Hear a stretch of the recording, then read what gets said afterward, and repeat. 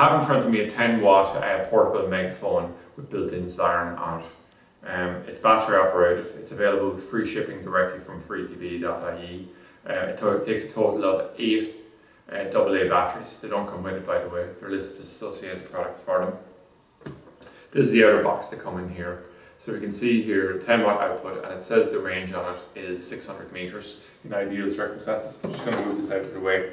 So what I'm going to do is just show the entire thing. The first thing I'll start off is how do we put the batteries in.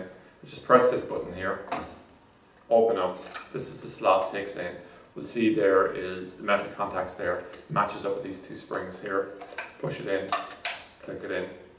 In terms of adjusting the volume, the volume can be adjusted here. We speak into this end and this is where obviously the sound comes out. There's a siren on it here. I just turn it on for a moment. Just gonna turn the volume up. You can hear the siren on it, okay? And um, there's effectively no on-off switch in terms of using the microphone thing itself because when we don't depress the switch, the circuit's broken, the batteries are just sitting there.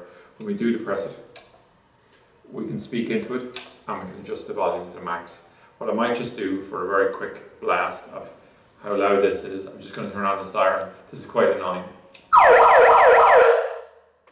It's very loud. So I thought initially the 600 meter things was a wild exaggeration. Possibly not 600 meters, but you'd certainly hear this from a long distance away. Um, the applications for it, well, you can think varied ones on it. Um, but even for our own thing here, we have a huge warehouse, so we could use something like this to blast from one end of it to the other if we need to call somebody up from one of our test areas, something like that. Um, uh, you know, there's a lot more expensive, uh, higher quality versions of these out there in terms of ones that um, have rechargeable batteries, all the rest of it.